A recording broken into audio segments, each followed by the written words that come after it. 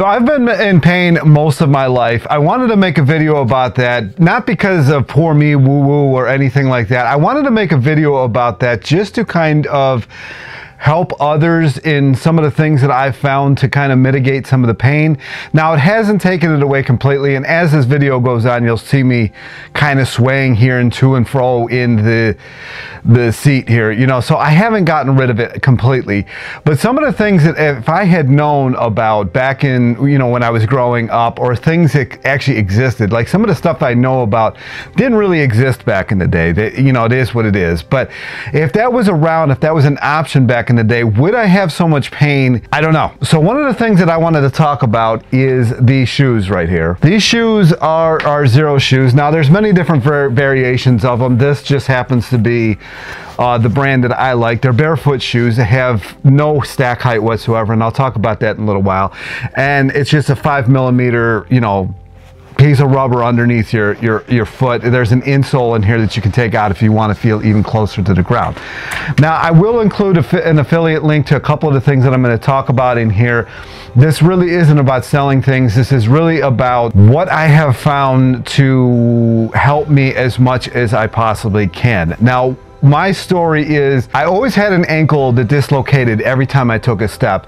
It acted like a pendulum and it eventually ate away 33% of my ankle bone, which is also known as the talus. When you're compensating for that, your body's gonna be off. And a lot of us don't have that situation like that I have, but you do have a situation where you're in shoes that elevate your foot and your foot is not supposed to be elevated. The reason for that is because your body always wants to keep your eye on the horizon horizon.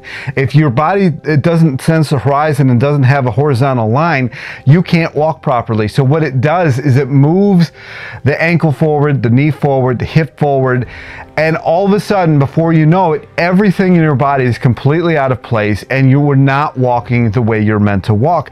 And that throws everything off. Like the like if it's a couple millimeters off down at the base, it's gonna be inches off by the time you get to the top. And then you got people doing like these weird things with their back. They got the hunchback, they got, you know, the head forward, they got the neck issues. I mean, I've got all of these things, right? So, and I have them largely because of the ankle issues that I've had, but the, uh, and and also part because I was always searching for a new pair of shoes that was comfortable. I had always heard about people having, you know, foot pain or whatever it is after work so I just thought it was normal, you know, and you hear a lot of people talking about foot pain and pain and back pain, but it's not. It's we're not supposed to be like that. You're not supposed to have completely swollen foot feet by the time you get home from work. It's not supposed to be like that, but it is. And why is that? It's because we're strapping our feet into these casts, right? It's kind of like if you wanted to get your your bicep bigger and stronger, you wouldn't put it in a cast and assume that it's going to get stronger. It's going to atrophy. But this is kind of what we do with our feet feet, right? Now, this is not a, a foot ad or anything. I'm going to get into some other stuff that I've, uh, you know, used to help myself, including a, a bed that I have recently gotten last week that I'm eventually going to be doing a video about. There's many different things that we can do, and a lot of what we've been told over the years to help ourselves with this really doesn't help at all. And, and people want cushy and, and you know, soft and whatever things to sit on and lay on, but it's really not how we're built. If you really look at how we're built, we're supposed to lay on and sit on hard things because we have these lymphatic nodes, you know, like a lot of people know about the ones in the neck, you know, if you're not feeling well, the ones in your neck will swell up. But you have those all over the body or like the, the other famous ones are the ones underneath the armpit, in, in the armpit because they will smell really bad. And this is why people buy, buy deodorant.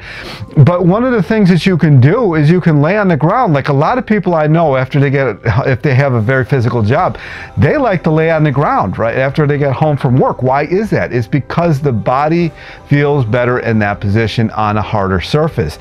It's not if you're on a bed, you're you're going to be kind of you know, caving down the bed, no matter how much you weigh, no matter how heavy the springs are, you're going to be weighing down in the bed. And that puts your body in a position that this is not supposed to be in. And because of that, you have a lot less lymphatic drainage, if any. And because you have none, none of this lymphatic drainage, you also have a lot of by, waste byproduct that just isn't getting expelled in the body like it's naturally supposed to. Like you, we used to squat. We didn't have, like I'm sitting on a, a chair right now. We didn't have chairs. We squatted you know, and that that clears a lot of the channels out. there's a lot of stuff in the legs that get cleared out, and there's a lot of stuff in the back that gets cleared out. When you're sitting on a chair, that doesn't happen. Even even if you're riding a bike, right, you might have some of that lymphatic drainage in your legs. But a lot of people, especially when they're new to cycling, will notice that they get bloated, they have uh, gastrointestinal problems, they have a lot of issues in the upper body. It's just because your upper body is sedent, you know, sedentary basically on the bike, and you're on the hoods or whatever, you know, kind of handlebars that you've got. And you're in a stationary position and it just builds things up. That's why when people just all of a sudden will start a program for 10,000 steps a day or whatever, or 20,000 steps a day, whatever it may be, all of a sudden you, you have this huge clearing of lymphatic because our lymphatic system does not have a pump like the heart you know? The blood system has the pump uh, the heart as a pump but the lymphatic system does not have that even though it runs along the same lines as the as the veins and the nerves do it just doesn't have a pump because we used to walk a lot more. So you have a couple of things going on here and if you look at people who uh, uh can't afford shoes, don't really like shoes or whatever, their feet are completely different. Like I've always hated shoes my entire life. So you'll see my feet are completely different than somebody who's been in shoes their whole life. They're wider, they, they have uh, space in between the toes. There's a lot more space. Like I used to work in a post office and we had a lot of people from India and Africa who, uh, you know, moved to this country and they couldn't afford shoes in the country that they were from. And when they moved here, they couldn't actually find shoes to fit their feet because their feet were so big and, and heavy and, and healthy that they had to, even in the winter, wear those, you know, the sandals that people usually wear after practice or something like that because that's all they could get on their feet. That's how our feet are supposed to look.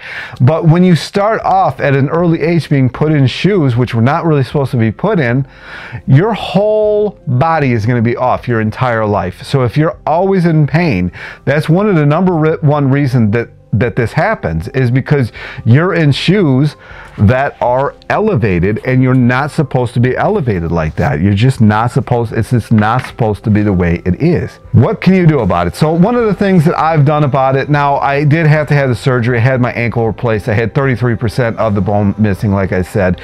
And I've always had a high pain tolerance, which isn't always the best thing because then you don't realize how much more damage you're actually doing to your body. So it's not the greatest thing. And even the doctor, after he uh, did the ankle surgery for me, he's like, you know, most people that I've, and he's been a foot doctor forever. He's like, I've had patients who had 1% of their bone missing and they couldn't even walk. He's like, I don't know how you were doing this on 33% of your bone missing. It's just, I'm like, I don't know. I, I've always known that pain, you know, so it's just always been there. Had I had something like this, I probably would not have had as much issue. I may not even needed the surgery because the body would have worked in much more unison than it did. A lot of people you see they kind of walk like the penguin, you know, like it's just we're not that's not how we're supposed to walk. We're supposed to have a movement to us. Our spine is supposed to be over each leg as it walks. We're not supposed to be so rigid. And one of the other things that comes from these Hoka style things is your foot wants to feel the ground. And if it can't feel the ground, then it's going to walk harder and harder and harder until it can actually feel the ground. And if it can't, your body just doesn't walk correctly. I'm getting yelled at. I don't know if you heard that. I'm getting yelled at by a device. Your, your your body just doesn't walk correctly. Have you ever seen people with huge calves and no ass? It's just because you didn't you don't walk correctly. How do I know this? Is because I deal with some of this stuff my entire life. It's just now as I'm getting into uh, was getting into my late 30s and and early 40s here that I've I've really realized oh this is why that's happening, and so I'm making videos like this because there's a lot of things that you can do to mitigate or get rid of pain, especially if you can catch it at an early age. If you're watching this at an early age, do some of this stuff. The other thing that I've been doing is I bought a mattress, it's three inches uh, thick, and it's got uh, uh, just a mat of grass underneath. It, basically, a Japanese bed. It's a tatami mat, and then on top of it, a, a small little mattress. And I, it, it's so amazing. Like you might be slightly stiff when you wake up in the morning, but you realize after a couple minutes that you are so much better off with this style style mattress instead of being in this over cushionized mattress that's not good for anybody. Really, we're not supposed to be in these cushy world. It's just not what we're meant to do. Like it's not meant for us. We are our our bodies are built to be in kind of a rugged terrain, and it, it the reason for that is because again, like I said, our lymphatic system does not have drainage and because it does not or a pump for drainage. So if it doesn't have a pump you have to be the pump. And so sleeping on a hard surface walking a lot walking correctly these are things that that really drain the lymphatic lymphatic system. And another thing that I've also done is use a Cellerciser to a mini rebounder. That is one of the things I will link uh, an affiliate uh, make a little bit of money. That is amazing I've talked about it in probably about five of my videos, like I reviewed it in five five different of my videos. It has been an absolute life changer. It really has. It's it's amazing. I know they're a little bit expensive now. They're like three or four hundred dollars more now than than when I bought it. But I would still, even at the current rate, still buy it because it drains the lymphatic system. And like Dave Hall, the creator of the thing, says, you can you know like 10 minutes a day is all you really need. And truly, 10 minutes a day is something that will completely completely set your life in a different trajectory uh, health wise than it's in right now. Now, I'm not saying it's going to cure everything, and I'm not saying anything like that. I'm not a doctor or anything, but the, the transformation that I've seen, and I used it when I was in the upper 300 pounds, right? I know it's only rated for 300 pounds, but I use the thing, I've had it for 10 years now when I was over, you know, almost 400 pounds. So I've had it for a while, and I've used it in this journey that I've been on from over 400 pounds to whatever I'm at now. I, going to do a weight in a couple weeks. To summarize, if you're in pain, really start off with the base, right? Like your feet. I would start off there. Now, I would not go full force. I mean, I did, but I know a lot of people are going to have issue with that. It's not going to work out well for you. You know, it's just like anything else. If you buy barefoot shoes, use them for like an hour a day and then maybe the next week, two hours a day or whatever, and just gradually build into it. Your calves are going to be annihilated the first, like, I don't know, a couple weeks, if not a month uh, for most people. Some people, like, it didn't happen with me. Maybe not everybody goes through that, but I have heard a lot of people say that their calves were annihilated annihilated. like just so sore. It happens. It happens. This is to happen. And same thing actually on the Cellerciser. A lot of people are like, man, I can't believe how much, you know, activation this did for my calves and all you know all the other things.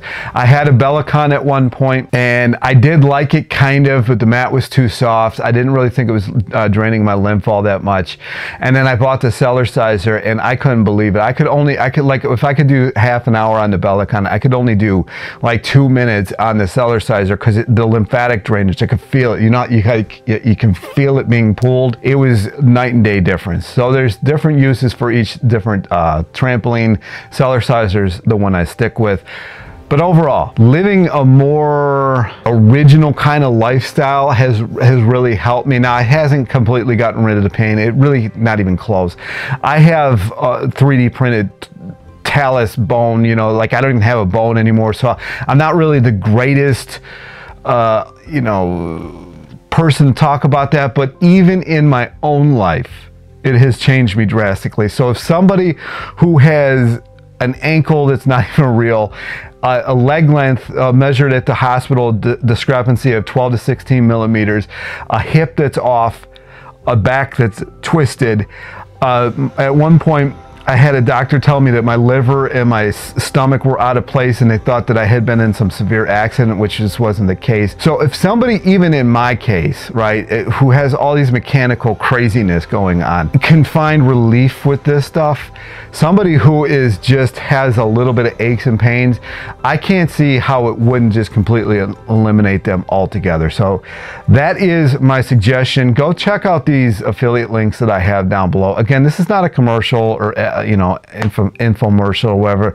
I don't really care if you go check them out or not. You, you know, you can just go there without using the links. But These are things that I have definitely benefited from and continue to talk about on this channel. And I think some of the stuff is is more important actually than diet. I, I, know it's more important than diet because your mechanical health is is really important. And I know a lot of people who don't really pay attention to the diet world have fairly good health, and and it's a lot of it just comes from walking and being active. And a lot of people you know that I've talked to uh, have tried out many rebounding and stuff like that. And then if they add you know shoes in like this this, that helps even more. So food for thought, literally. Uh, just just check it out. You know, just think about it. You know, the bed I will talk about in a couple weeks. I really want to give it a couple weeks before I talk about it in any way, shape, or form. That is it. If you have any questions or comments, leave them down below. Like, subscribe, and I'll talk to you in the next video.